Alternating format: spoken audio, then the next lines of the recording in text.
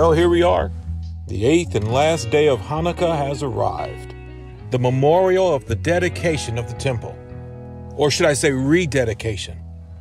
Why is it rededicated? Because it was taken by the hands of the nations, lawless people who reject God's commandments for their own. And it would be a remnant, the Maccabees, who would stand up and fight against the masses. One light shining in the darkness that became brighter than the darkness around it. Hanukkah is a picture of us being born again, rededicating our lives to the way and to the light of the Lord. Wait, you know what? I'm not going to call it rededication. I'm going to go beyond rededication.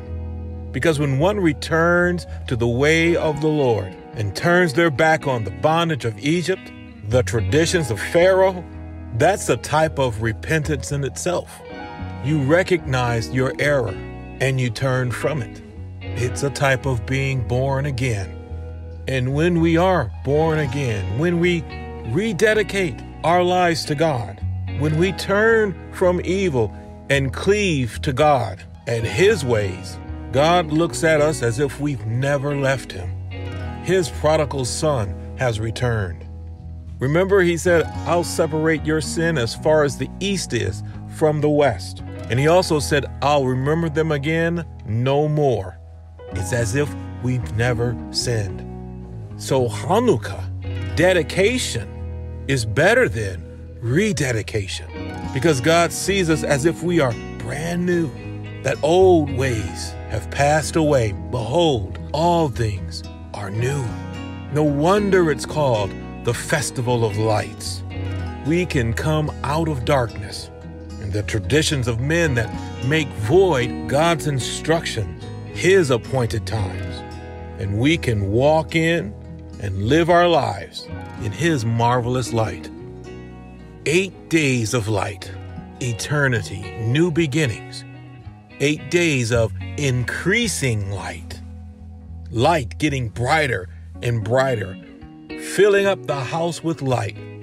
And when I refer to your homes, I'm talking about your bodies, that spiritual light inside of us.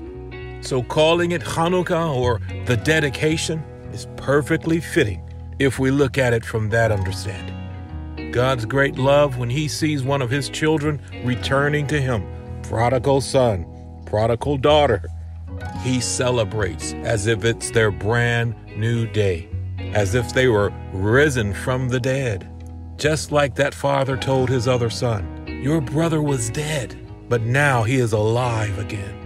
Hanukkah celebrates the return of light, the word, the instructions of God. Each of the eight days increases in light. I like to look at it as growing day by day in the knowledge and wisdom of God. His light growing in us, making even our darkness light. Each of the eight days of dedication increases our light. Day 1, Psalm 27 and verse 1. The Lord is my light and my salvation. Whom shall I fear? The Lord is the strength of my life. Of whom shall I be afraid? Day 2, Isaiah 60 and 1. Arise, shine, for your light has come, and the glory of the Lord has risen upon you. Day 3, John chapter 12 and verse 36. Believe in the light while you have the light, so that you may become the children of light. Day 4, Genesis 1 and 3. And God said, Let there be light. And there was light. Day 5, John 9 and 5. While I am in the world, I am the light of the world. Day 6, Proverbs 6:23. For the commandment is a lamp, and the law is light, and reproofs of instruction are the way of life.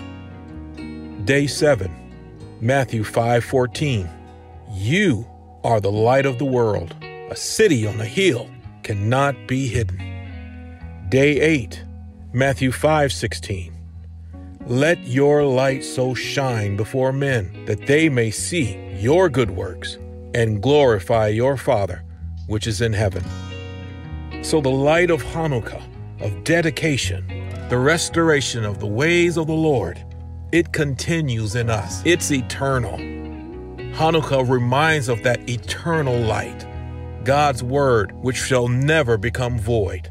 In spite of what men try to do, to say it's done away with, or to hide it, or to try and change it, alter it with ways and practices of this world and traditions of men that make void God's commandment.